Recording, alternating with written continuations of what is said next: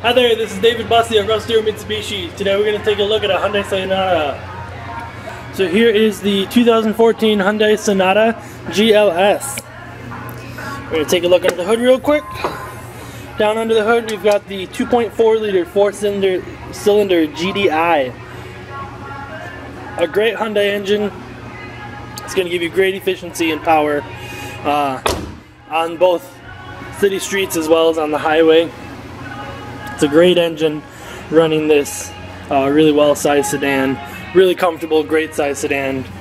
You've got the alloy rims here, as well as, of course, disc brakes all around. Um, and then taking a look on the inside here, of course, we've got the controls for the mirrors, uh, locks, and the uh, windows right here on the driver's side door.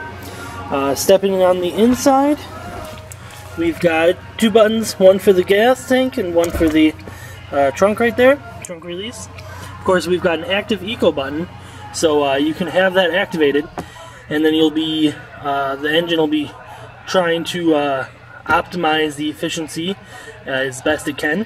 Um, if you shut that off, you will have a little bit higher RPMs, and it's just a little bit sportier of a drive.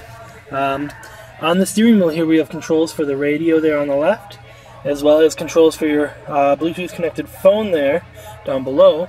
And then on the right on the steering wheel we've got the cruise controls there and of course you've got settings for your uh, different controls.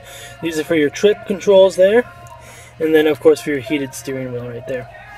Uh, now in the center we do have uh, we've got a, just a clock up here on top which tell which also tells your uh, outside temperature and then here we've got the uh, radio with your AM, FM, uh, your auxiliary and uh, USB in, of course, and then your uh, single disc CD player right there as well, up on top. Uh, down below that, we do have our climate controls right there. Uh, just under there, this button here pops open this nice compartment. It's pretty deep down in there. Really nice little storage spot. And then down below that is where USB and auxiliary in are located, as well as two uh, 12 volt outlets right there. We've got a nice little storage spot right here as well. There are two cup holders. Here's our automatic transmission shifter, of course. And we do have the ability for Sportronic shifting there as well. Um, so you are able to pop it over to the left and uh, shift up and down as you see fit. Then, of course, underneath this armrest here, we do have a little storage spot there and a larger one down below that as well. Uh, now let's go take a look into the back seat. Now our premium cloth carries over into the back seat right away.